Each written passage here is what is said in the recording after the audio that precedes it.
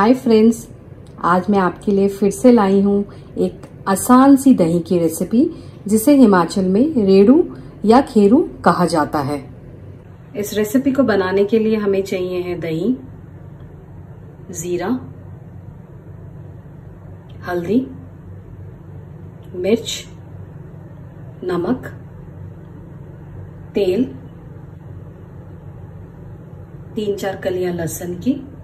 जिसको बारीक बारीक काट लीजिए। एक प्याज छोटा सा, उसको बारीक ना काटना है आपने। और हरा धनिया गार्निश के लिए। थोड़ा सा तेल डालेंगे एक चम्मच। थोड़ा सा तेल हीट हो जाए। आप कोई भी वेजिटेबल ऑयल और मस्टर्ड ऑयल यूज़ कर सकते हैं। मैं वेजिटेबल ऑयल यूज़ कर रही हूँ।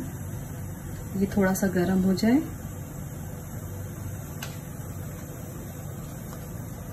मजीरा। जीरा को थोड़ा सा फ्लटर होने दीजिए। हो गया है। देखिए अब हम इसमें डालेंगे लहसुन की कलियाँ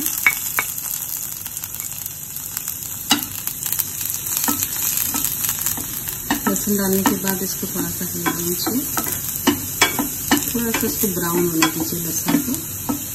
थोड़ा सा इसका कच्चापन चला जाए।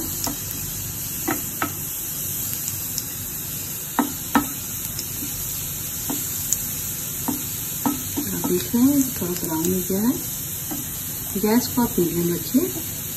अब हम इसमें डालेंगे प्याज।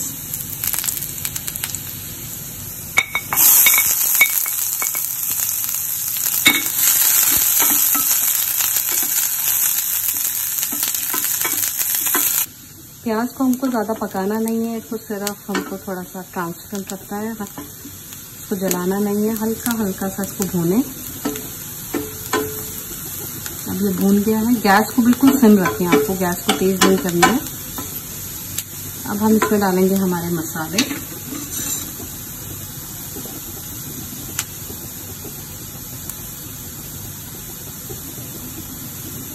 आधा चम्मच हल्दी का डालेंगे। आधा चम्मच लाल मिर्च का। नमक स्वाद अनुसार। और इसको आप मिक्स कर दीजिए।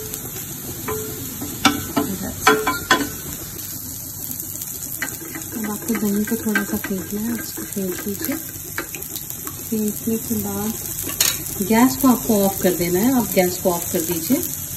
और इस दही को आप इसमें पोट डाल दीजिए। जैसे ही आप इसमें दही डालेंगे, आप प्लीज़ इंश्योर कि आप इसको हिलाते रहें। अगर आप इसको हिलाएँगे नहीं तो ये फट जाएगा। आप इसको हिलाते रहें। गैस आपकी बंद है। आप इसको हिलाते रहें ऐसे।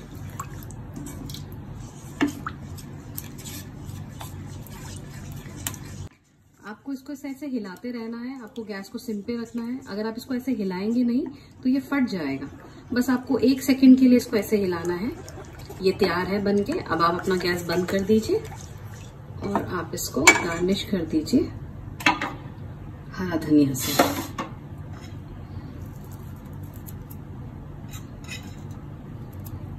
हरा धनिया एंड ये आपका रेडू तैयार है।